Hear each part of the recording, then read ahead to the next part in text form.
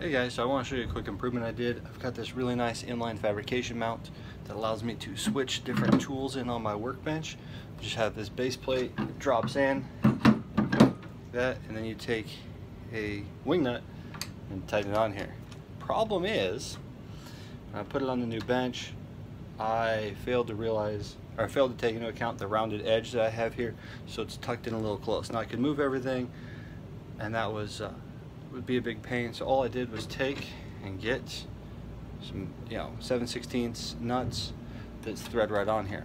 Now, one of the problems I've always had is what do I do with these? I've tried different places and I always get lost. So I took some FastCap Power Mags and just threw it right on there. So now, won't be a wing nut, it'll be this little nut, just live right there.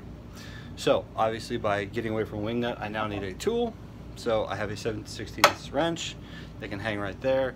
Now I need to do this, I just pull down, put my nut on, pull it back, I'm ready to go. Thanks.